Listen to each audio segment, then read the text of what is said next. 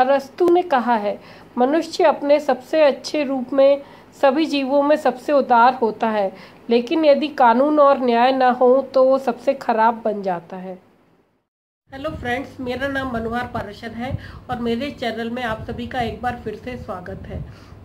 आज मैं आपसे न्याय के विषय में बात करूँगी जो प्रत्येक इंसान से जुड़ा हुआ है, मगर बड़े दुख की बात यह है कि कुछ मनुष्यों की बुद्धि इतनी अधिक अपरिपक्व है कि वह न्याय के लिए भी दूसरों पर डिपेंड रहते हैं।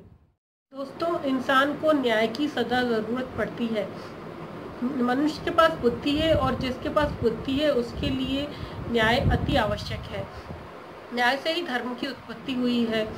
जो मनुष्य के, को जानवरों से भिन्न बनाता है और मनुष्य की विकसित बुद्धि का परिचायक है। धर्म एक अच्छे और सकारात्मक दृष्टिकोण का भी परिचायक है। न्याय के साथ धर्म का होना भी आवश्यक है। तब तो यह विकसित बुद्धि से उत्पन्न हुआ मानना जाएगा, क्योंकि जंगली जानवरों का भी एक कानून होता है, किंतु यह धर्म सम्मत नहीं होता। जब यह धर्म सम्मत नहीं होता तो पीछे एक पछतावा छोड़ जाता है और हमारी आत्मा को भी पूर्ण रूप से शांति नहीं मिलती। अधर्म के साथ न्याय प्रतिशोध में तब्दील हो जाता है। यह एक नकारात्मक दृष्टिकोण भी है। न्याय और प्रतिशोध में जरा सा अंतर है। प्रतिशोध से जरा देर के लिए खुशी मिलती है, किंतु मन पूर्ण रूप से शांत नहीं हो पाता और आत्मक्लानी सदा साथ रहती है।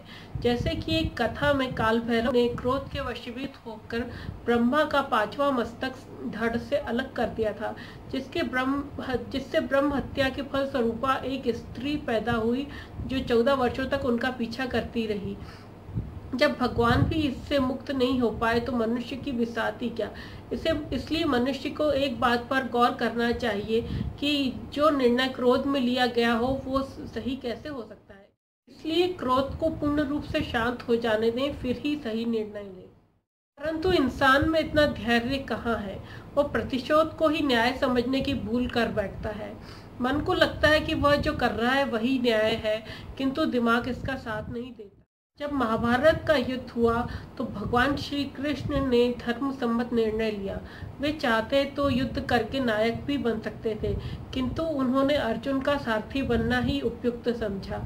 उनके पास चतुरंगिणी सेना थी, परंतु उन्होंने उसका दुरुपयोग नहीं किया, क्योंकि वे जानते थे कि युद्ध के युद्ध से किसी का भी भला नहीं हो सकता।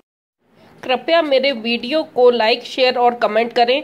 मेरे चैनल को सब्सक्राइब करें।